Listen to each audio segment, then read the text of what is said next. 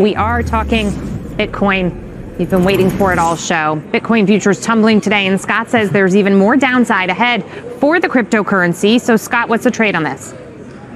Uh, I want to no no surprise, Jackie. Yes. I want to be a seller of the October contract, the CBOE Bitcoin futures. That's a single Bitcoin in the futures contract, 6,400 even. Uh, my target to the downside, not going to be crazy. Target to the downside, 59.50, about where it stalled out to the downside last time. And my stop to the upside is going to be 6,600. Why do I want to be short? Because it's Bitcoin. It has no fundamental value. We're in the middle of this great unraveling of this colossal bubble. And I think that people are going to, uh, the only thing that they have going for them if they're long is hope.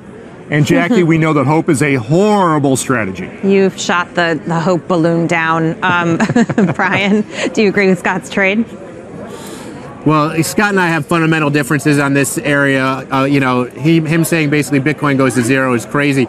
You know, the target of 5950, if we do break that 6,000 level, I, I'm definitely concerned about that. That we go down and we push even farther through that target. That would be a little concerning to me. But I think we're in inning three or four here of a bottoming process from the bubble that Scott talked about that popped and burst and came back down. When you look at the value of what a currency means, it's the number of transactions that take place and the size of transactions. And when we have overstock.com accepting Bitcoin, when you have places like Subway, Starbucks coming online accepting Bitcoin, McDonald's may be doing that, the number of transactions will be increasing over the next year or so. And when we get that, that should increase the value of the of what you want to call it, a currency, some sort of exchange of payment uh, a system. That has a factor, whether you like it or not, whether you think it's real or not.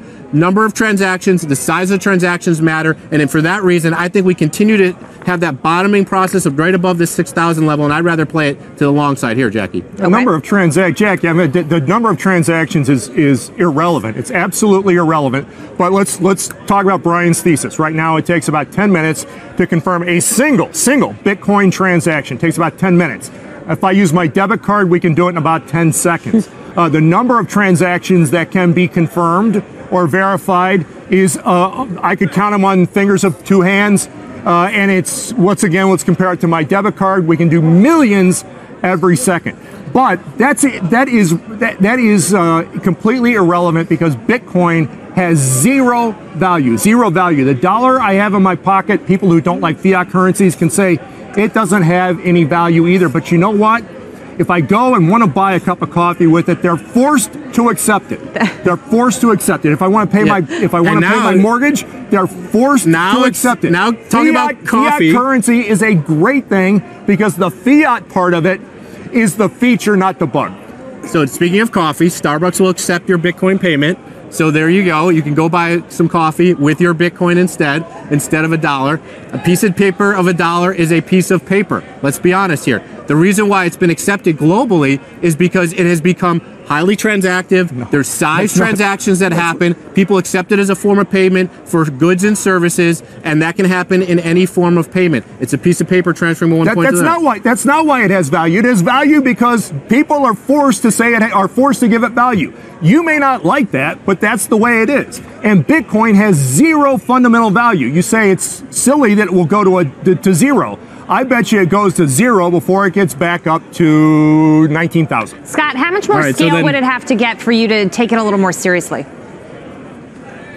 Um, in terms of acceptance as, as, as a at, at, currency. at a at a re, at a reasonable price, it would have to just the fund the, the transactional aspect of it would have to work. It would have to work as well as my debit card. If it doesn't work as well as my debit card, then why in the world would I ever use it? Because I'm taking on additional risk that it has no value. So it has to it has to work better.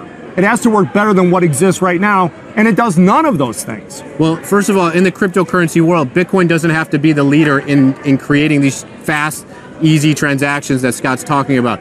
But what it can act is is sort of the store value where all cryptocurrency comes in through Bitcoin and, and, and reconverts out somewhere else. So I think it's becoming a leader in that sense. I think you're looking at, at basically Bitcoin, you're looking at something like Ripple, although maybe a little bit overvalued at these levels, that, that these types of things will be the leader in the cryptocurrency world. You'll see more and more blockchain occurring. Walmart is saying if you want to go out and buy a piece of lettuce, they want to start to track that with blockchain in order to track where that piece of lettuce is going all the way to the end user. That's coming down the pipeline. Blockchain is here to stay. There will be more and more transactions taking place. IBM is a huge backer behind all of this, and that will start to develop a better, stronger, faster network that will take place. We're in early stages right now. This thing's Gentlemen. not going to zero. You can't confuse blockchain with Bitcoin. They're two entirely separate things.